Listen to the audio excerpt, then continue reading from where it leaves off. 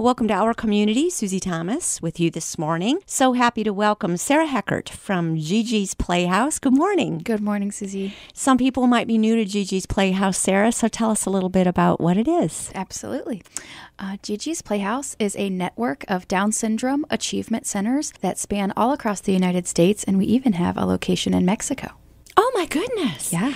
So when you look up Gigi's Playhouse online, I noticed that you really have to say where where you're from. So um, these centers are under one umbrella but operated locally, yes? Absolutely, that's correct. Yeah, we have 43 playhouses currently as of today, and then there's one opening here in Canton on April 28th, and we will be uh, playhouse number 44. So, second playhouse in Ohio. Cleveland came uh, about three years ago, and so we're um, loving to join the Gigi's family here in Ohio and the greater network across the country. There already is a Canton when you do the dial. There you go. Yep. They've got yes, it in is. there. Yes, we're here. What does it look like when we go to a playhouse? Sure. Gigi's Playhouse is, well, first of all, it's right up the road here from the station. Mm-hmm. Um, nice. Here in the Belden Village area uh, in Canton, so right near the highway. So we're expecting folks to come from across the region, not just Canton by any means. Um, all are welcome. You don't have to have Down syndrome or a family member with Down syndrome. You can stop in anytime. But we are designed to support the needs of um, families that maybe have a prenatal diagnosis of Down syndrome um, and then to serve their families throughout the lifetime. So we have programming that is free um, for all ages. So, again, that prenatal family um, looking for information and education and support, we are there. And then, um, you know, when your child is born, age zero to two, we start programming Mm. and it goes all the way up through adults. So, It sounds like it's such a fun environment. it is. Our, Describe what it is. takes place inside. Sure. Our our logo alone has nine colors in it. So There you know, go. From a branding and marketing perspective, um, we are colorful, and you Mm-hmm. walk in the door, and the walls are purple and green and blue, and so Is there a reason? Is there an educational purpose for that? Abs- um, just to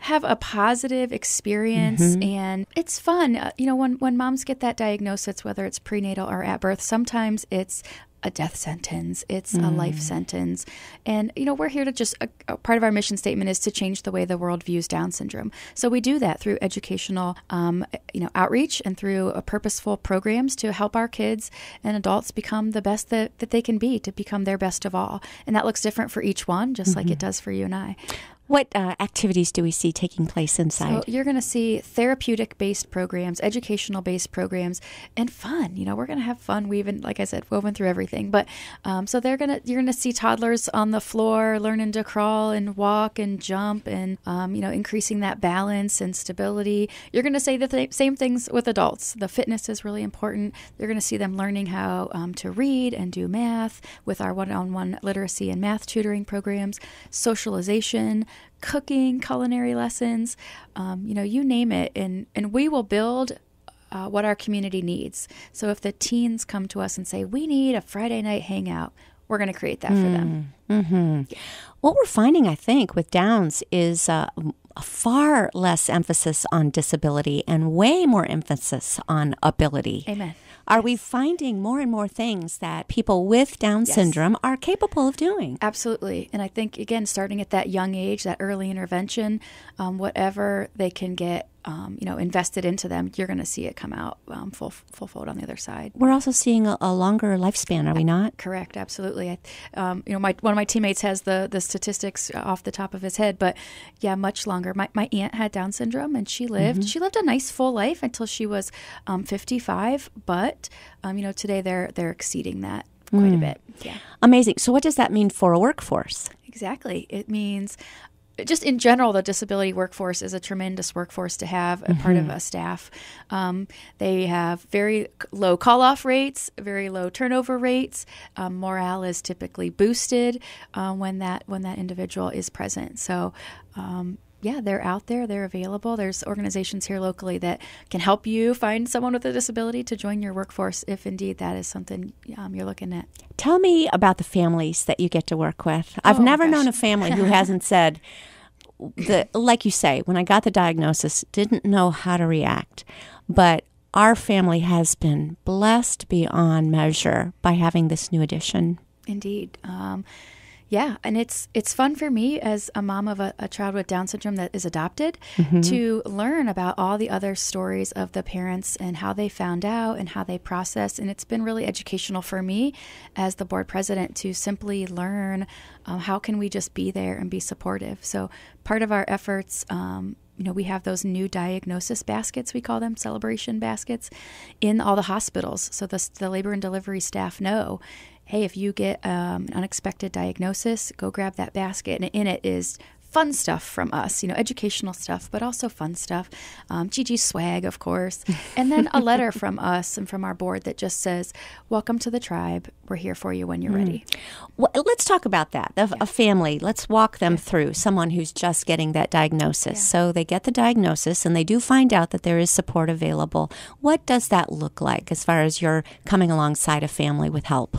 Yeah, I we first we just want to continue to get the word out there about Gigi's that we are here and we are willing to welcome those people because they are still very very much given that encouragement at every turn to terminate the pregnancy. Yeah, that's what that's all they hear. Yeah, so we just want to keep getting that word out there. Tell your OBGYN, tell your gynecologist, tell tell your family doctor that just um, you know this is out there and just so just so our name is continues to be out there so that we can just encourage um, again en- en- encourage those families. So um, they can call us they can stop by. Now that we have our, our brick and mortar we would love for them to stop by. We have a family outreach coordinator that can meet with them um, can provide again that information that new diagnosis basket and just encouragement. And just i think a lot of the moms and dads i've heard um, when they had that baby unexpectedly they just wanted to see maybe a toddler or a school ager um, a little bit older to just see that it was going to be okay.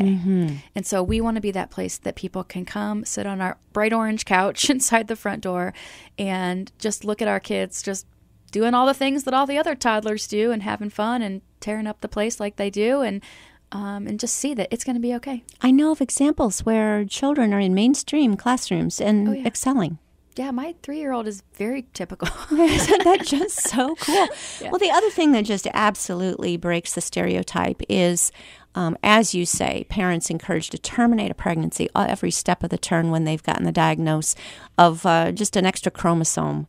Um, you made a choice deliberately chose a child and said we want you to two two children with downs saying we want our family we are not complete without you yeah. tell me about that process because you are uh, not the norm Correct. but there are people like you who when they say who's going to want this baby well you're look at this line of people there's a rather large club Right. and you're a member of that club tell me about your life sarah How much time do we have? i know not that not enough not nearly enough but, Um, but there, tell us there that is. There's a national organization that, that helps link um, birth parents looking to place their child with Down syndrome for adoption with um, parents that would love to adopt a child with Down syndrome of all ages. So, um, lots of infants, of course, go through that organization, but there are, you know, as uh, parents age and children age and maybe needs become greater or